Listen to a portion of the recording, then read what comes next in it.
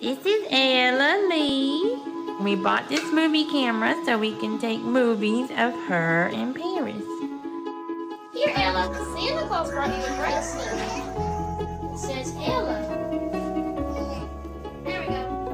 Let's show Mama. Look, it says Ella. Hang on, you need to open one. Is that for me? Okay. Cool. Open this one, Ella. Paris, hold your video game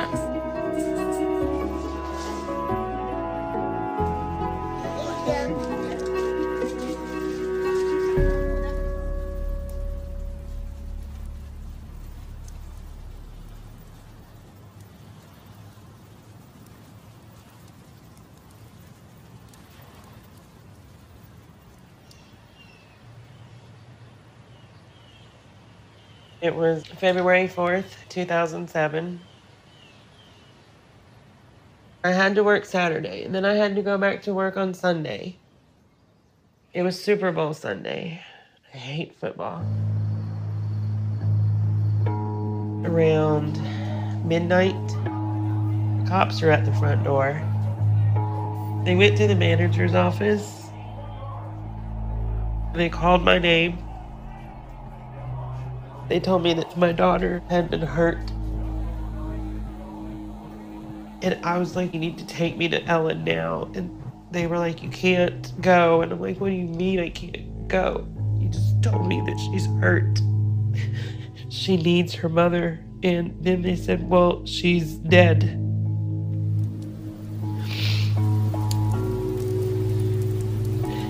That made no sense because I left her at home with her brother and a babysitter.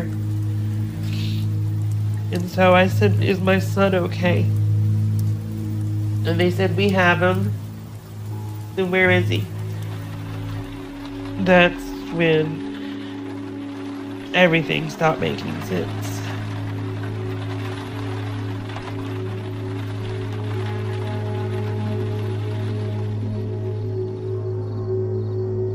Abilene 911. Hello?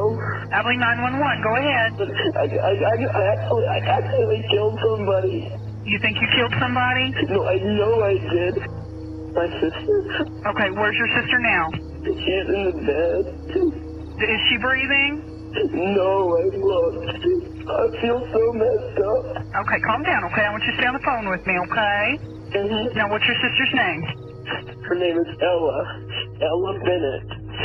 How old is Ella? Four. She's four years old. How old are you? Thirteen. Is she bleeding anywhere? Yes, she's bleeding all over the bed. Because I stabbed her. What did you stab her with? A knife. Okay, where'd you stab her? Um, lots of places. Okay, Paris, where's the knife? It's on the bed with her. I didn't mean to. I was I, I know, Paris. Okay, I want you to stay calm for me, okay? I was so Okay, what? Listen to me. Paris? Paris?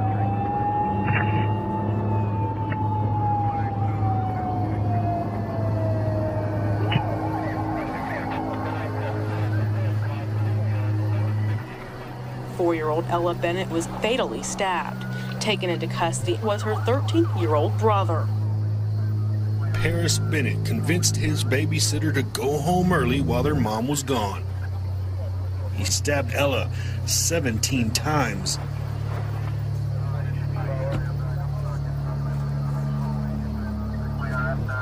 There was police everywhere, news trucks, neighbors. The entire street was lit up. She was in a body bag, of course. It was zipped up to her chin. She had blood coming out of her mouth. She was bossy, extremely opinionated, but very, very loving. She had it in her mind that we had to adopt half of her pre kindergarten class because they would tell her that they got into a fight with their mom or something. Ella fit a very large personality into a very small body. Ella, she was a pistol. She came to stay with me one weekend, and I guess Charity talked at home about what she didn't like about me. So Ella comes out for breakfast and she puts her hand on her hip and she says, Well, Mama, she said, I just want to tell you, she said, I love you. I don't care if my mama hates you. I love you.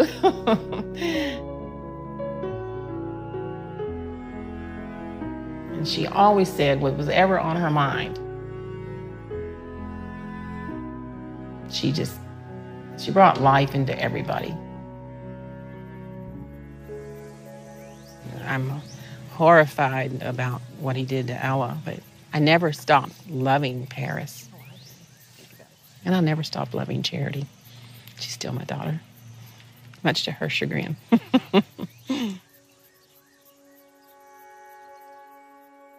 I haven't talked to my mom in years. And contact before that was sketchy at best. My mom was extremely beautiful woman. She has been married seven times, eight times.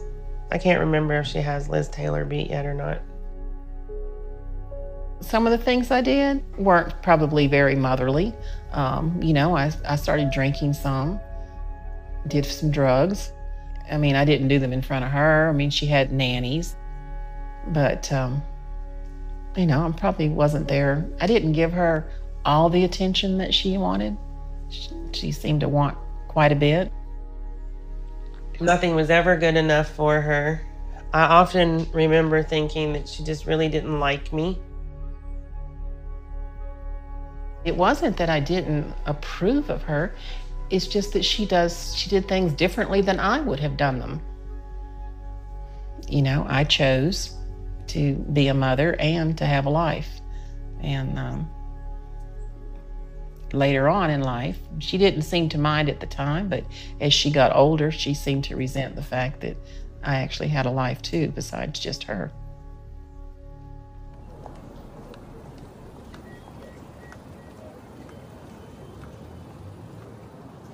Today we're going to talk about healthy boundaries. I want everybody to stand up. Crystal, tell me something that you're upset or feeling stressed over right now. CPS.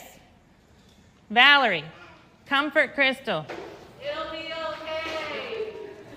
Was that comforting? Yes. Really? The night that Ella died, I made her a promise that something meaningful would come out of her death. I tell myself that it's okay to enjoy life, but there's always that thought in the back of my mind well, Ella's not here to enjoy it with me. So I set up the Ella Foundation to prevent violence by sharing our story. Focused on the entire dynamic. We are done. Next week, we go back to family systems.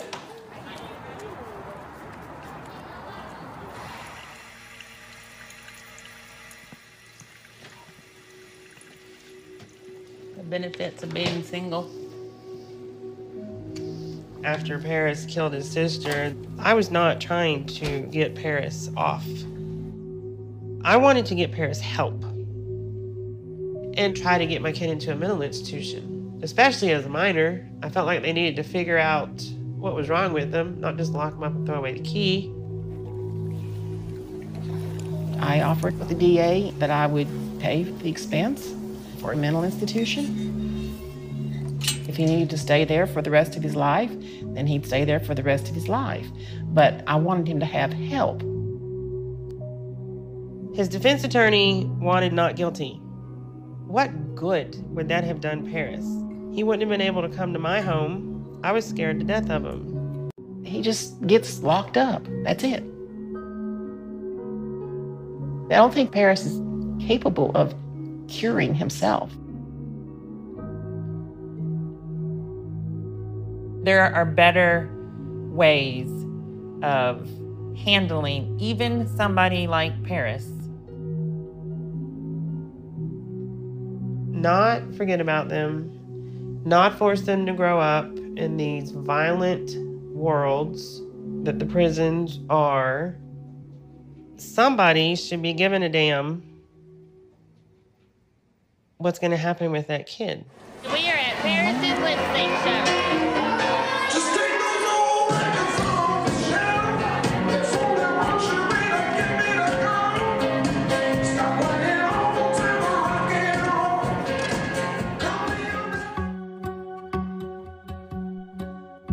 Paris was a ridiculously smart kid. He has an IQ of 142.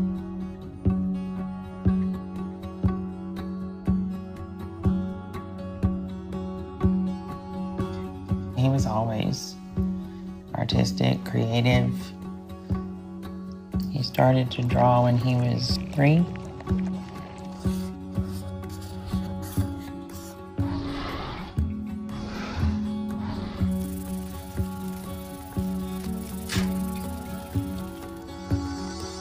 He was a calm child.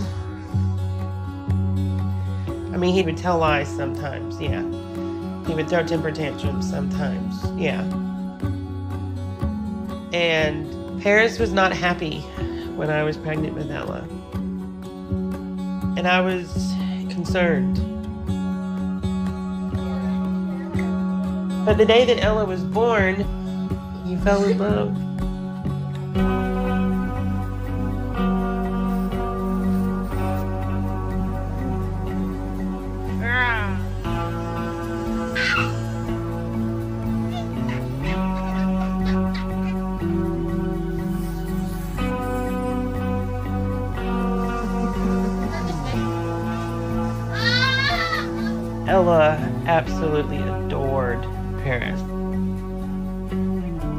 Paris did, Ella had to do.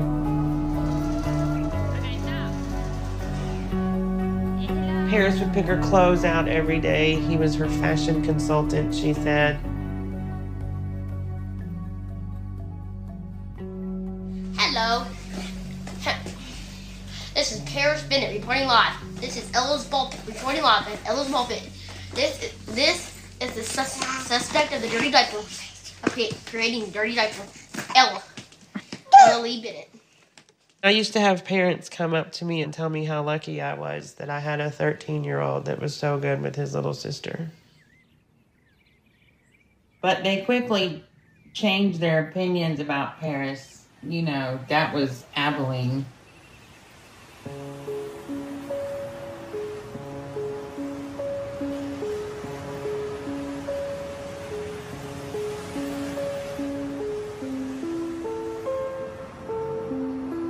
Abilene is interesting. It's a world record in the Guinness Book as the most churches per capita. There's almost more churches than there are people. Everyone knows everybody and everybody talks about everyone. I remember people discussing what kind of books did Paris read and what kind of video games did he play. But um, I believe Charity got the brunt of that because even if it's a book that he's reading, well, who got him the book? And even if it's a video game that he's playing, well, who allowed him to play that game? Charity took a lot of heat for her situation. People were very cruel to her. She'd be in a shock. Oh, you're the mother that, oh, your son, you know, and it's like, that's, you know, there's only one judge and I'm not it.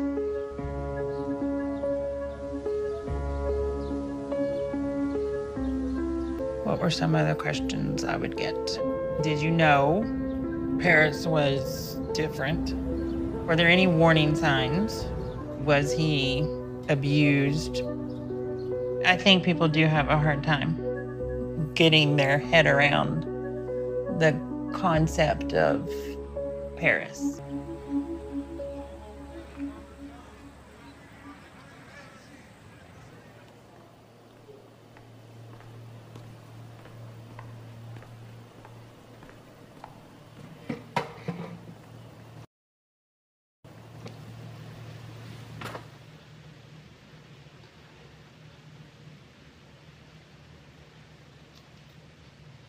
I remember being angry all day long and thinking all day long, I want to hurt somebody if I if I if I if I'm going to snap, and it wasn't initially Ella. I thought about the babysitter. I thought about going down the street and seeing somebody I knew, and I thought about hurting a stranger.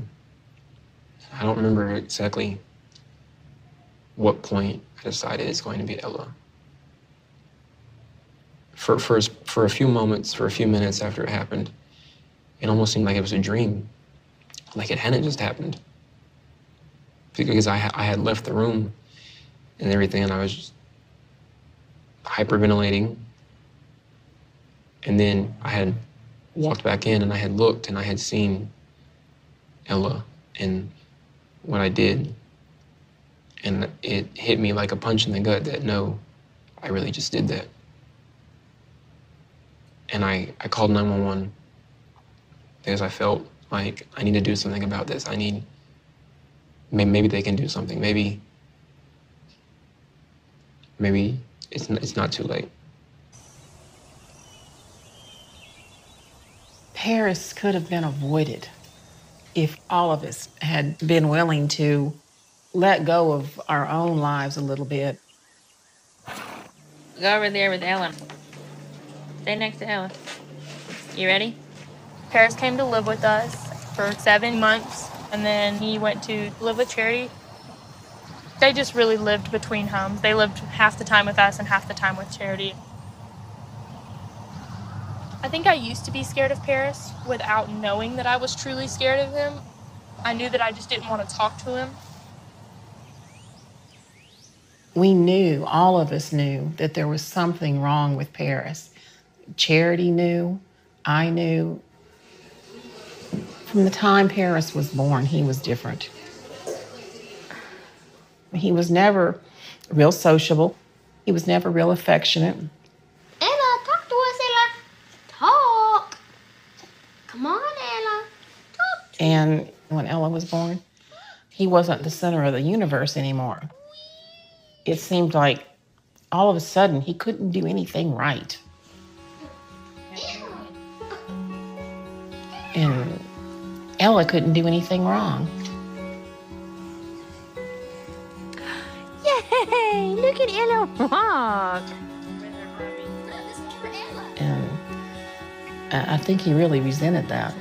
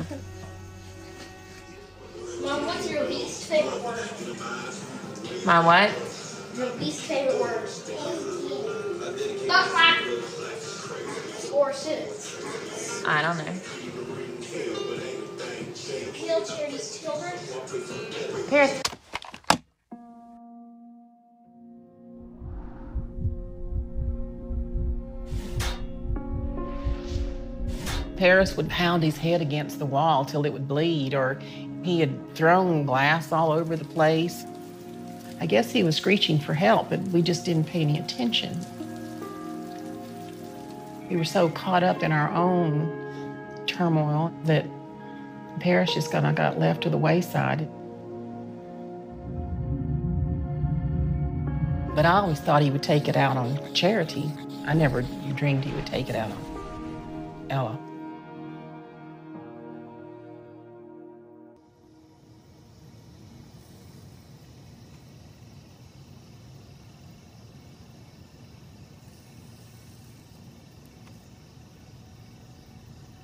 After Paris's sentencing, his assessor told me, You deserve to know that your son is a sociopath.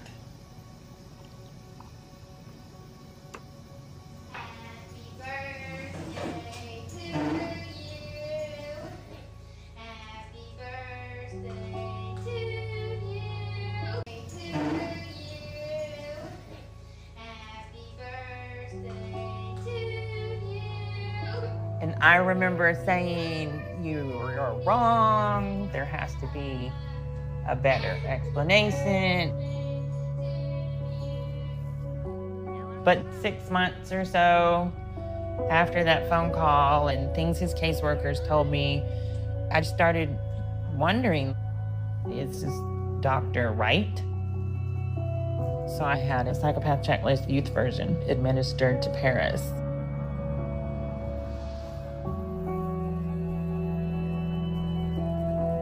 Reevaluated by other assessors. The last person that I contacted was Dr. Park Dietz. He gave me the number of a risk management firm and he told me that I should stop spending so much money on my son and I should start spending my money on changing my identity and hiding for when my son got out of prison. But I really don't know if I can walk away from Paris. There are people who would murder my child just to make a name for themselves. I killed the child killer.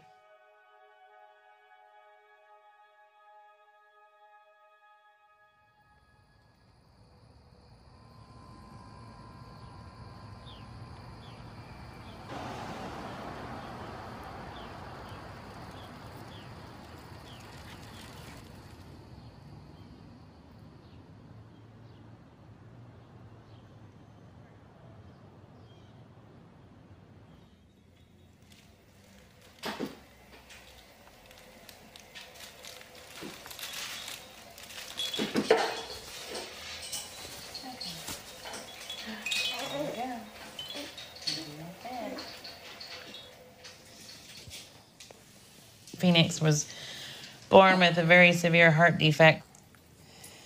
There we go. He ended up having open heart surgery at six days old. There. But obviously, he um, made it because he's still here.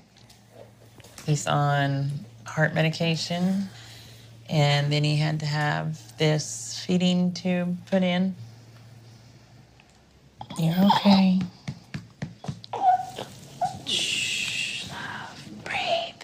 After six years of not having Ella and having Paris the way that I do. There you go. Phoenix reminds me what it feels like to be happy.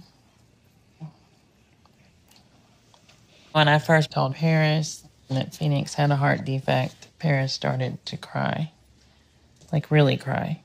And I've never heard Paris cry like that. Ever.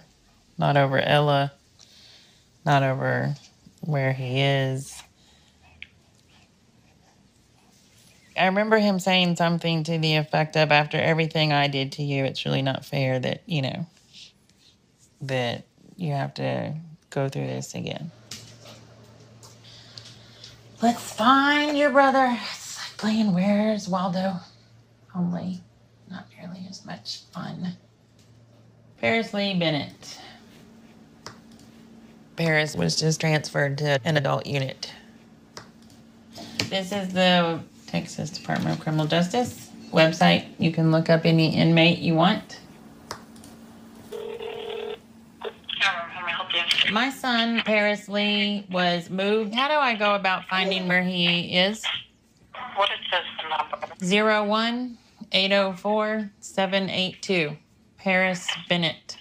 The number is 936 348 3751. Okay, thank you, ma'am. Oh, she hung up on me. Imagine that. It really irritates me when they ask me for his number. I always make sure to say his name. He has a name. The number or code you have dialed is incorrect. Please check the number or code and try again. Three days I haven't known where he is. You just you want to know where your child is. The longer I don't get information, the more I begin to wonder if anything has happened to him, if has he been hurt. CDC Dickelman's unit, this is Cheyenne. How may I direct your call? I just called to find out where my son was transferred to. Okay, what's the CDC number? Zero one eight zero four seven eight two. Paris Lee Bennett. Okay, he's actually at the Ferguson unit. All right, thank you so much. Ferguson. 20 miles northeast of Huntsville. So, yay! If that's where they leave him, he's closer.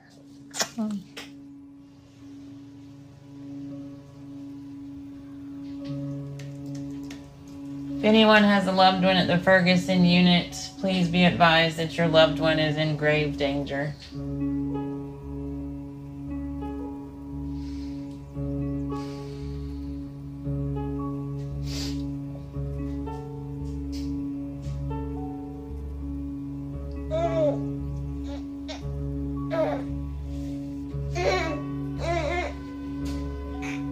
Son got checked by a bunch of guys and his eye is now messed up.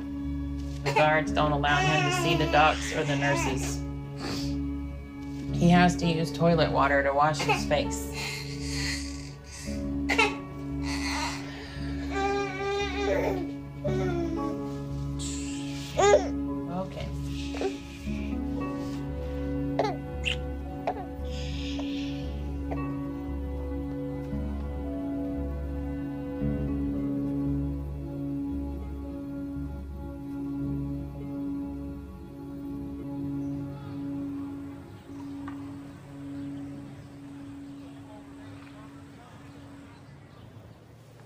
Whenever an offender hits a new unit, he needs to be able to walk in with his head held high.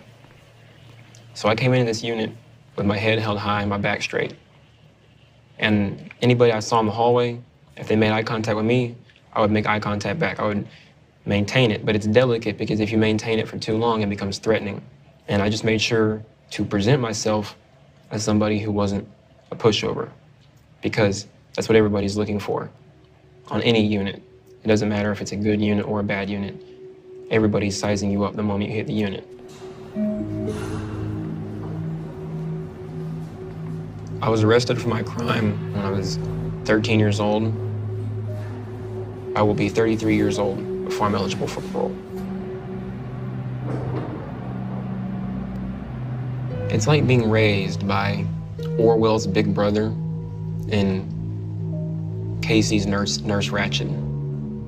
Being raised by them while living under a rock.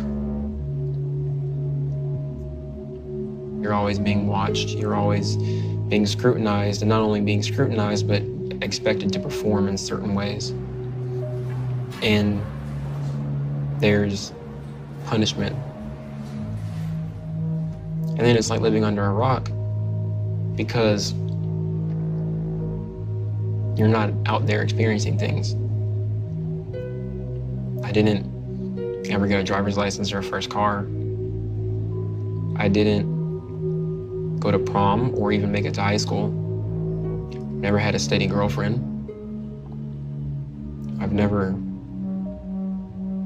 been to parties. I've never been stupid and gotten drunk for that first time. Just all, I, I guess what you would call the snapshot moments. I missed a lot of snapshot moments. So you really just get passed by by life.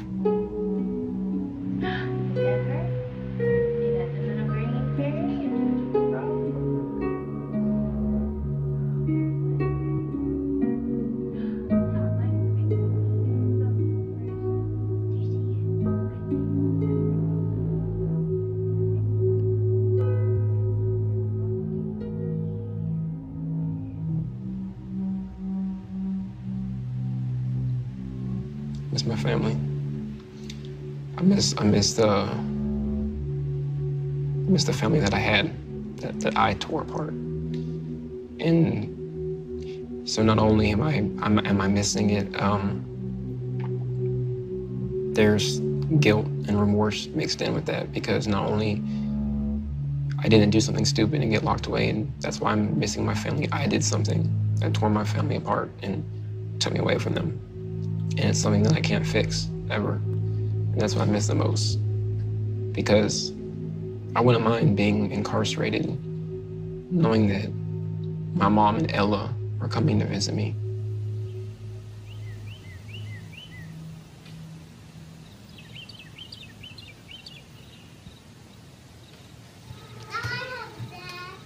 Do you have a dad? Uh, yes, child. You have a father. Everybody has a father. Do you have a dad? No. Not everybody has a dad. I didn't have a dad. I turned out okay. You not have a good dad.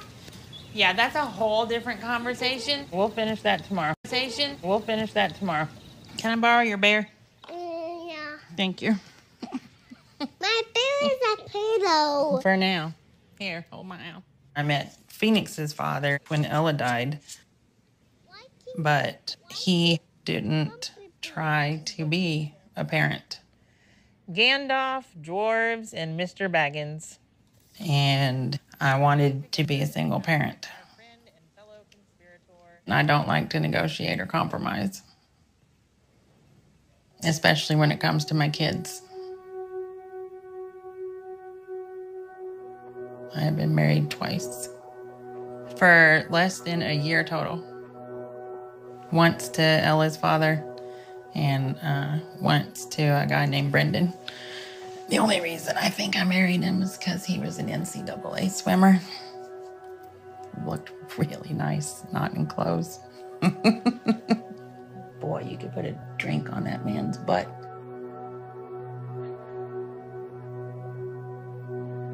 That is one thing my mom and I have in common. We do not pick decent men. Paris's father left not long after I got pregnant. And then when Paris was 17 months old, he showed up and it was fairly obvious that something was not right. His father was diagnosed with paranoid schizophrenia with audio and visual hallucinations. It's me and Ellen. Say. Ella's father had problems with alcohol. Like your mother. I got a phone call one day telling me that he's in the hospital. A state trooper pulled him over and asked him to get out of the car, and he wouldn't do it. And so the officer reached into the car, and Ella's father popped the clutch and drug the state trooper 75 feet up an exit ramp.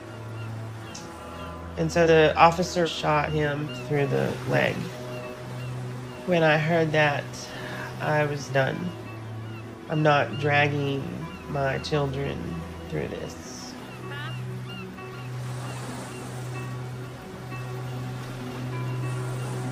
All right, hold on one second.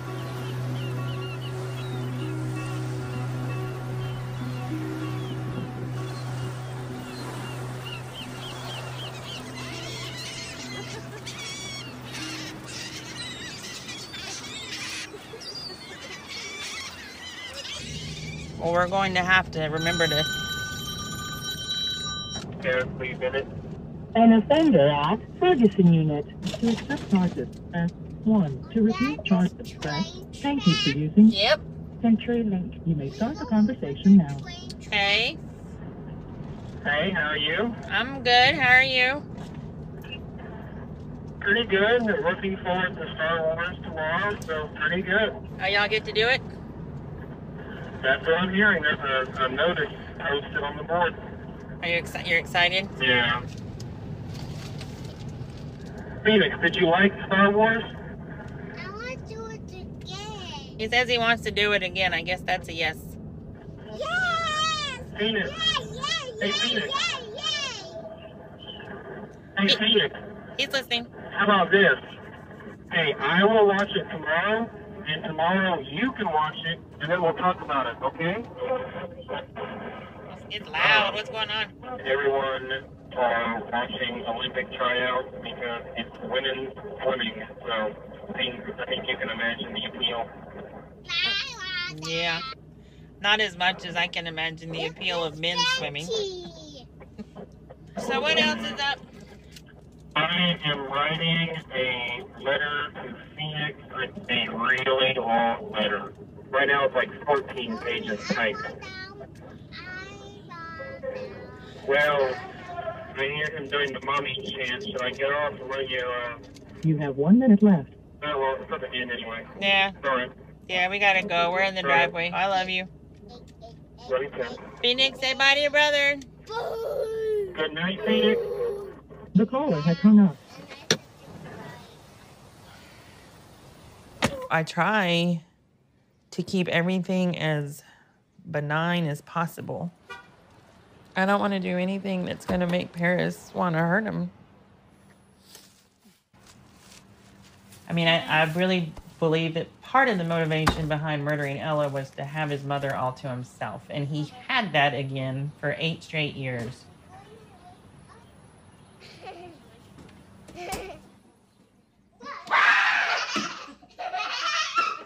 So I don't sit and go, oh, wow, this is so nice. They're getting along so well.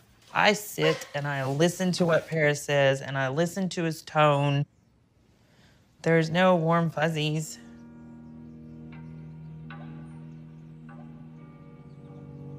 When I found out about his heart condition, I almost felt like it was my fault in a way.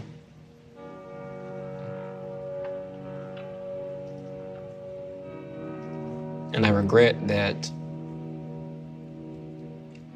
he's going to grow up with me in here and knowing me like this. And I hate that my actions taint the relationship.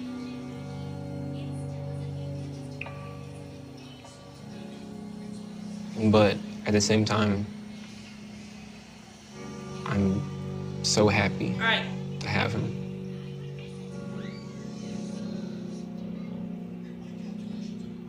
And I think that he'll get to know me much better through my letters.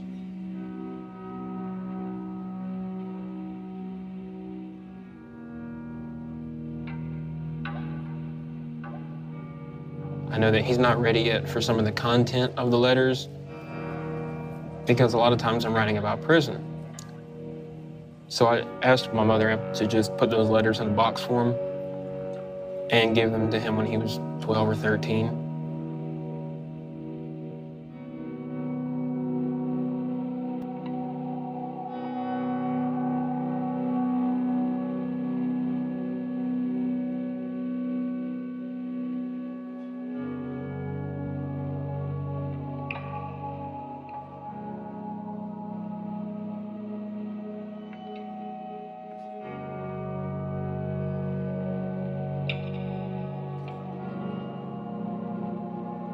Letting the person who killed my child talk to my child. And the only reason I'm letting it happen is because I have forgiven him and they are related, but I'm never going to be comfortable with it. I will never be comfortable with Paris and Phoenix.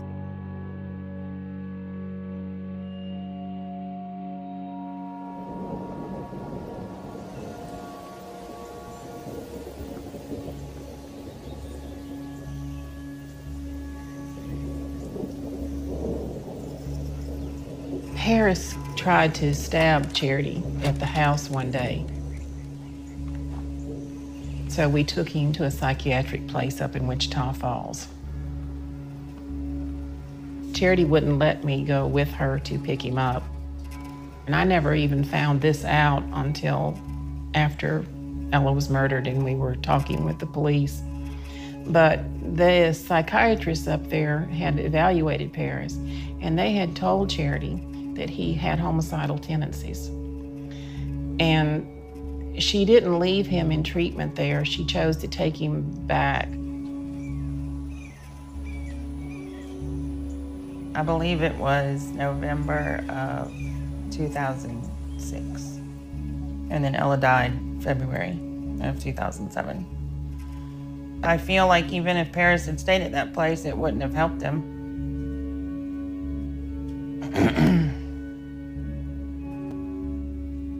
I don't know. I can't. I can't spend a whole lot of time anymore double guessing the past.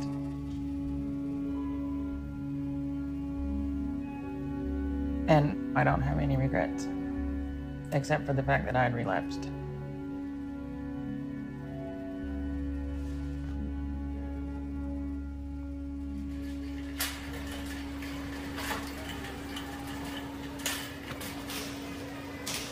When Paris was 12 and Ella was three and a half, I relapsed on cocaine.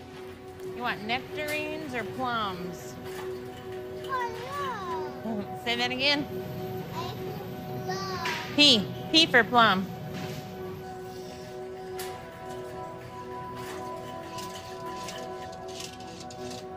For about three months, Paris took up the slack. I mean, he knew that something was going on, and he really started to look after his little sister.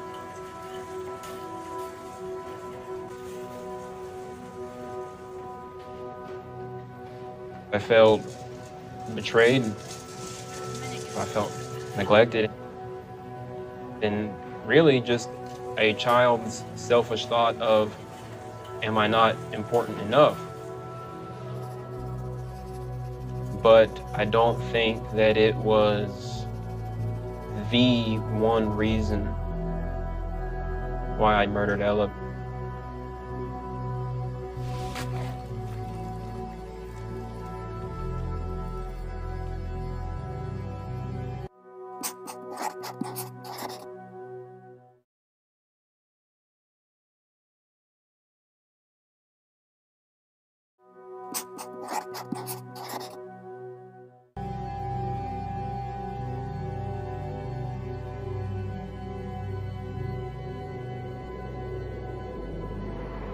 Relationship with my grandmother is not tinged by as much emotion as one with my mother.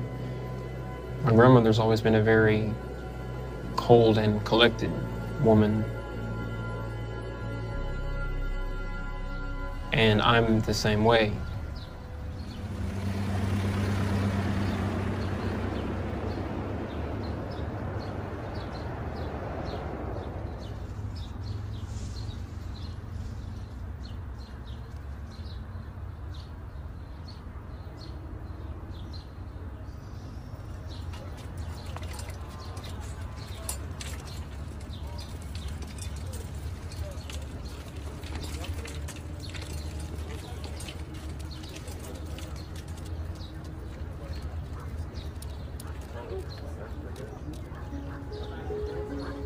When I was 29, my husband, Charity's father, was murdered.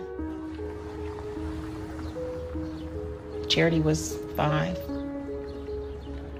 I took her up to my parents' house as soon as it happened. And I told her that her dad had been shot. The only thing she said was, Well, I'm glad it wasn't you, Mama.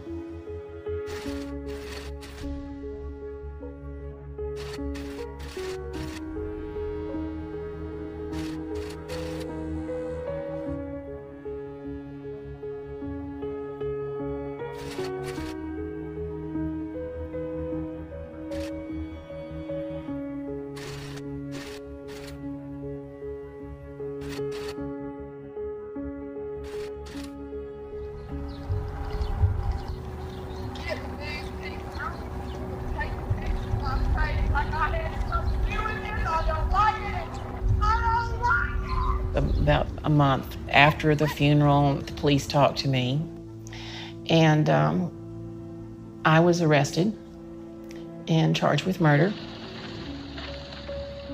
My husband was involved with illegality. His father was part of the Georgia Mafia, and um, through another attorney, they convinced the DA to take a warrant out for me for conspiracy to commit murder.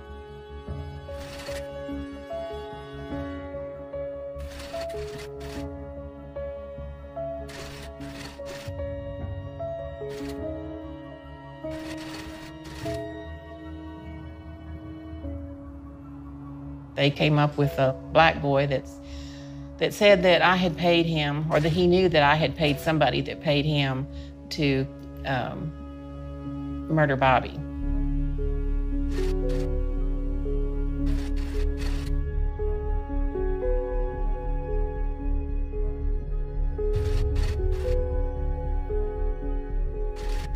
I spent six weeks in jail, and then I was on trial for six weeks. Charity stayed with my mother and father.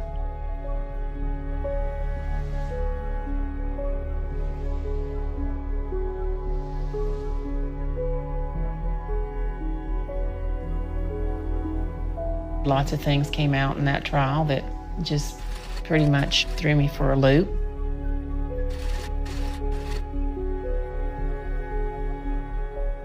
But I was acquitted.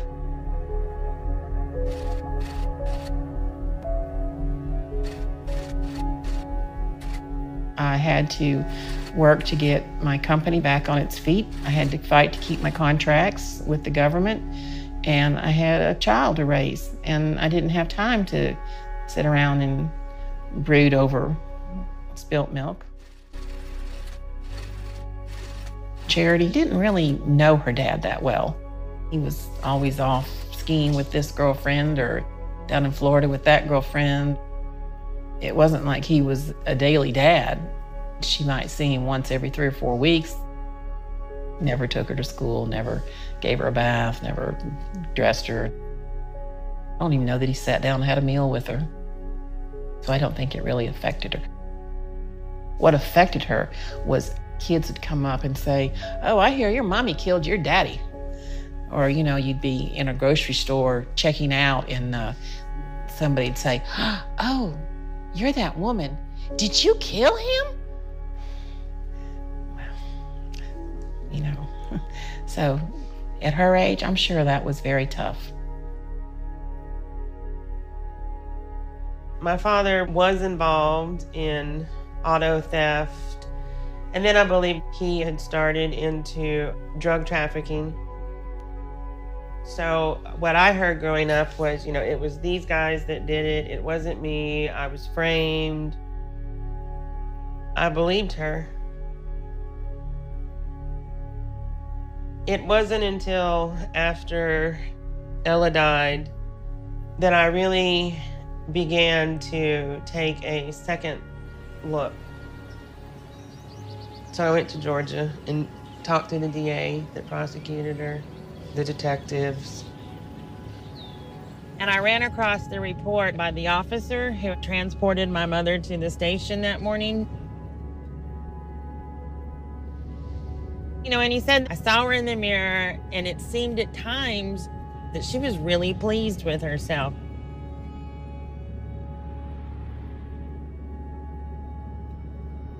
They even had a napkin where my mother had drawn a map of the house and marked on there that this door would be unlocked.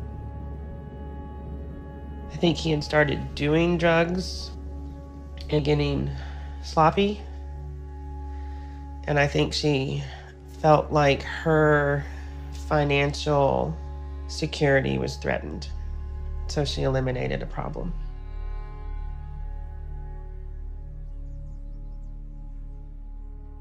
And so, of course, there's the thoughts okay, so your mom might have killed your dad, and your son definitely killed your daughter. You know, where does all of this come from?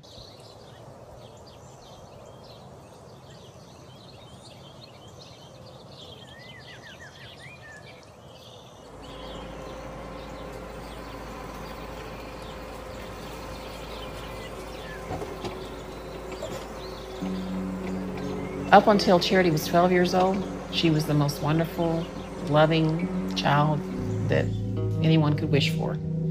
We were inseparable.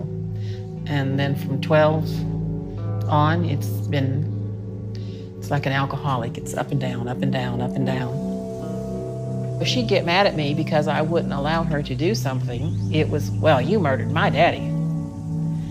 So she was a good manipulator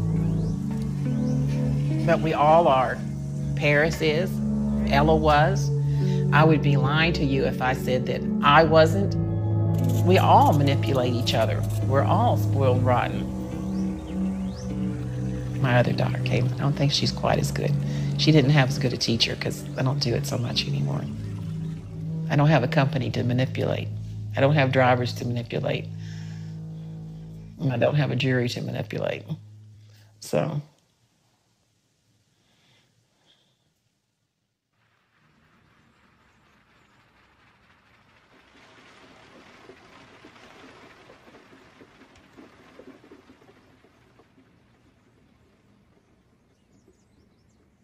My mother was sending Paris really inappropriate material for a boy in prison for murdering his sister. He wanted a science fiction book, so I had it sent to him. And they denied it because inside the book there's a picture of a woman and her breasts are exposed, but it's just a drawing. So he says, Take the book apart, send me a chapter at a time, and when you get to the picture with the bare breasts, he said, Tell Cayman just to draw a bra on it. Let's see, raping women, murdering them, bludgeoning people to death.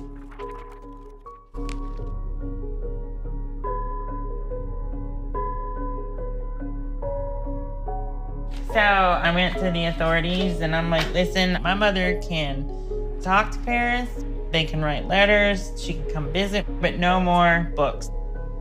That's it, no more books. And that's when I got sued.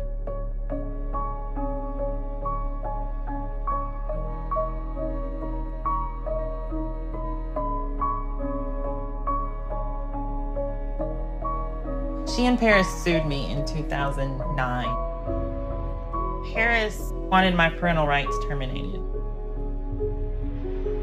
And then my mother wanted those same rights for herself. She wanted to be Paris's guardian. Paris said that I was not good for him. He blamed everything on me.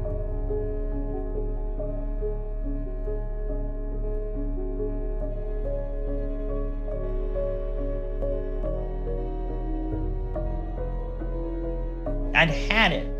I pretty much said, you can kiss my excuse my language.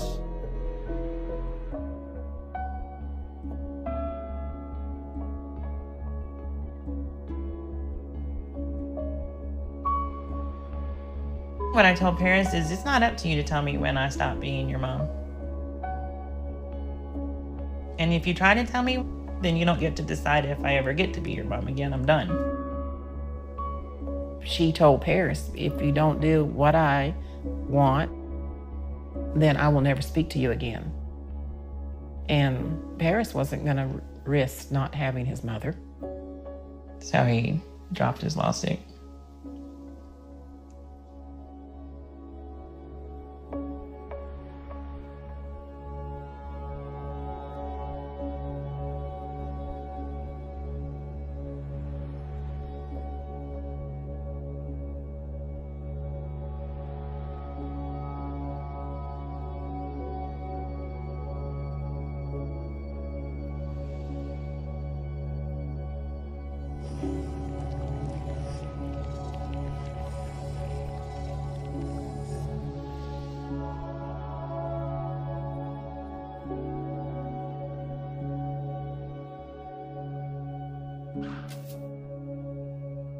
Abilene 911. Hello?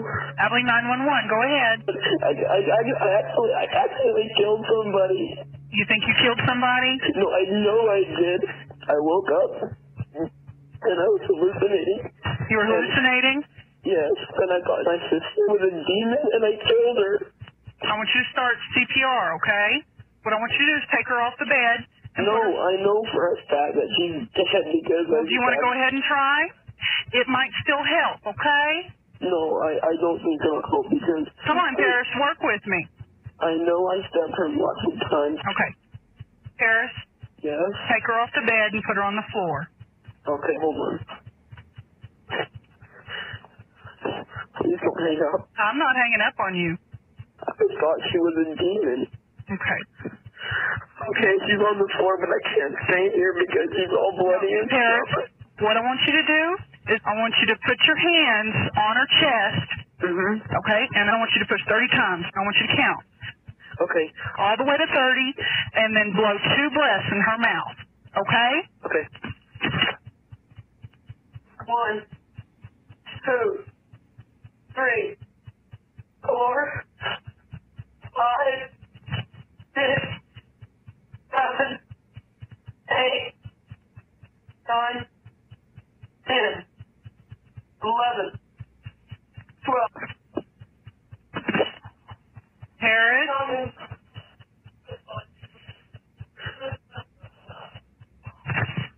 We put it down.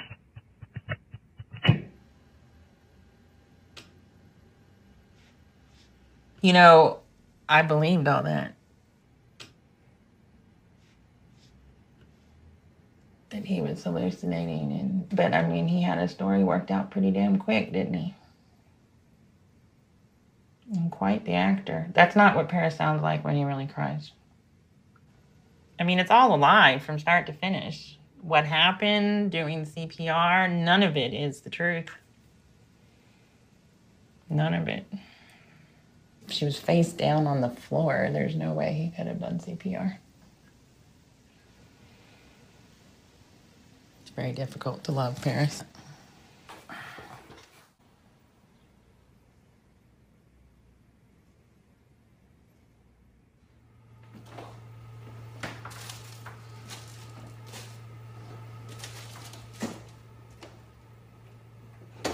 It has been in my mind for a while that I have been able to forgive Paris for the worst thing imaginable. And in order to have my own sense of peace, to have integrity, I need to process through it with my mom. I would be a hypocrite if I didn't.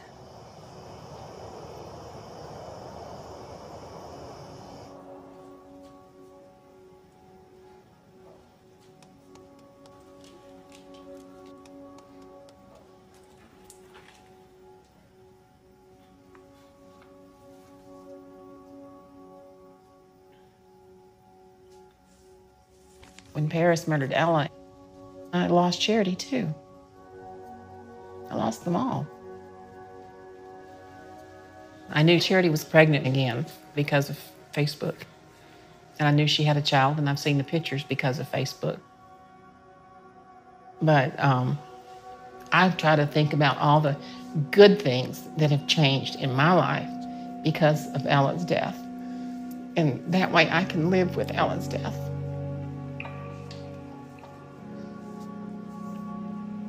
Mean,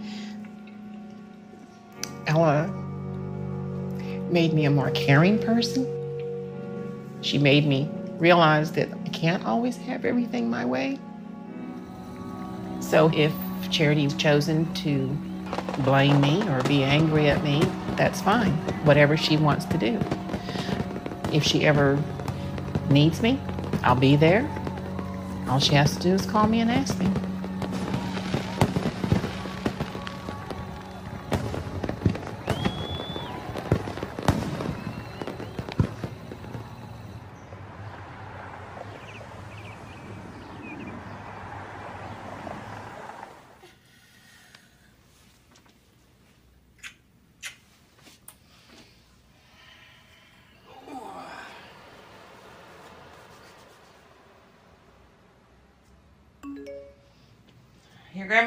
To save her at least one cookie. Okay. I decided to give my mom the opportunity to come back into our lives. We're not the same people we were when this first happened. And I'm trying to focus on how we're similar as opposed to how different we are. Here she is. Yay!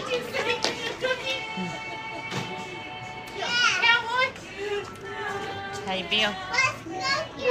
Yeah. Let's give her a cookie. Yeah. Should I share it with you?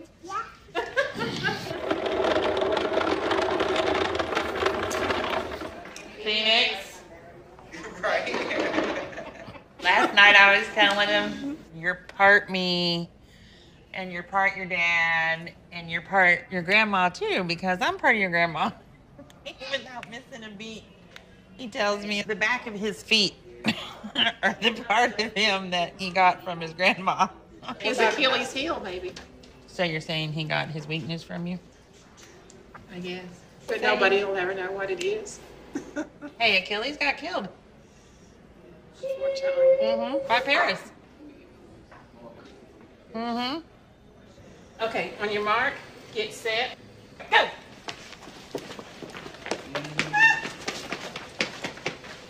Phoenix, you can barely run and Phoenix is pulling his pants up.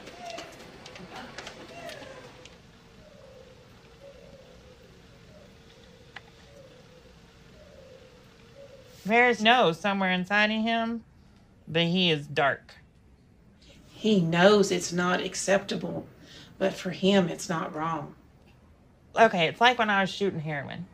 I hated myself for what I was doing, but I kept doing it, right?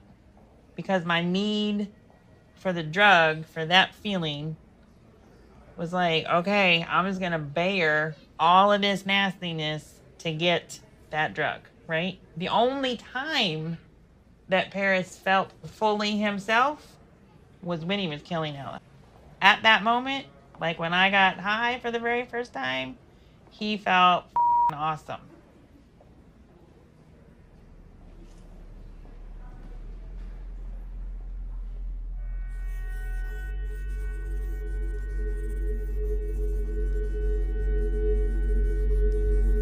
I chose to do my crime, and I accept full responsibility for my crime. And I wouldn't say that there was a predisposition when it happened. I'm not insane, and I don't suffer from any mental illness. I'm sure all crazy people say the same thing, but one thing I accept is that I'm sane. And that kind of underlies everything. Now, did I have issues? Yes, I did. If I didn't have issues, I wouldn't have killed my sister. Was I well adjusted? No. I was a coward. I was passive aggressive. I lashed out at people who were trying to support me. And I've always been very disconnected from my emotions. I've always sat inside my head instead of my heart. I lied very much about what I had done to absolve myself from the responsibility for it.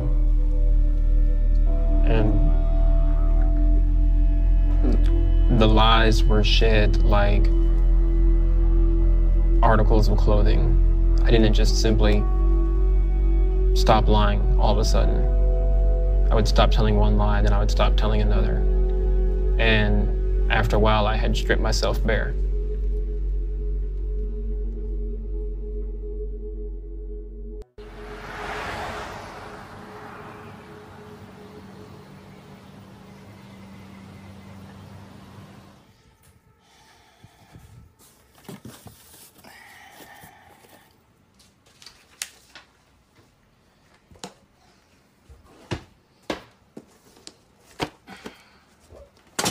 In our family, this is a trait that all of us share. Once the decision's made, action will follow. So I'm moving to Georgia to my mom. In spite of everything that happened, I know that what happened to Ella hurt my mom too. And I'm tired of the history repeating itself. It's time to try to stop the pattern.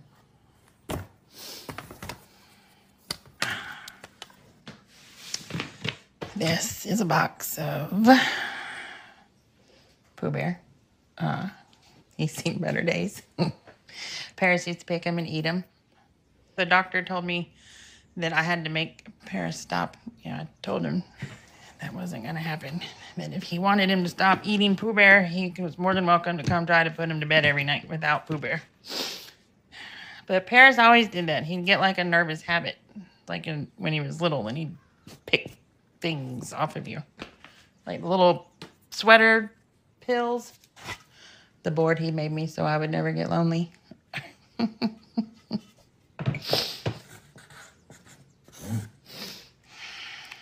Oh, what's this box? Ella's clothes. I wish wish they did still smell like her.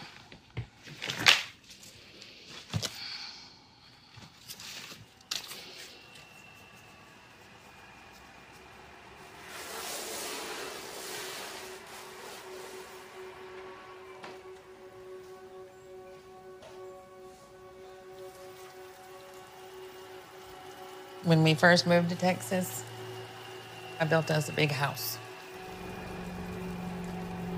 Ella and Paris both had their own rooms, big rooms.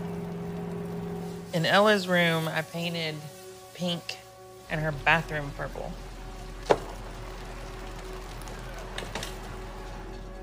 And when she saw it, she's like, it should all have been purple. So I just decided when I did this house that it was all gonna be purple. Because I had told her that we would change the room and she died before we painted it purple. So, so I painted everything purple.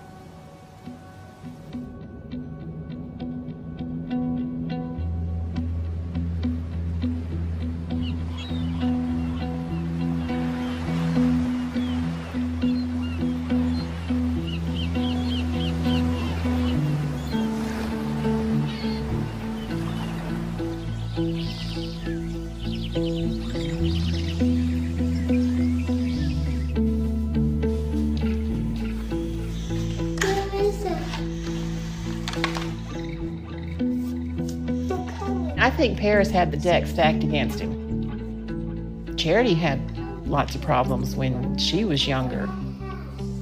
And then there was mental illness in the family. I'm sure that if somebody examined my innermost thoughts to a lot of people, I would not be normal. I've certainly not lived a normal life.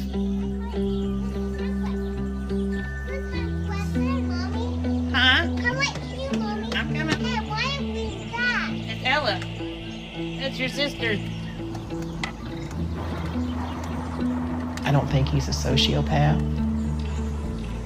I don't think he'd ever hurt me. and I don't think he'd ever hurt Cayman. Should Charity be afraid of him? Maybe. I tell people in my presentation if you don't believe that my son was a sociopath, the experience of having grown up in prison is going to force him to become sociopathic just so he can survive. I like you too. Paris hurts anybody else when he gets out, he can blame me, but it's on Texas.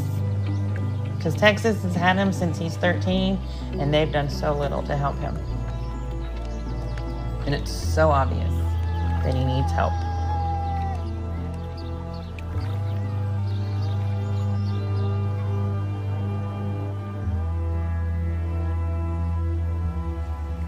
I'm the sort of person who's done the sort of things that people tend to judge pretty quickly. And I'm aware that I can't change people's minds about me.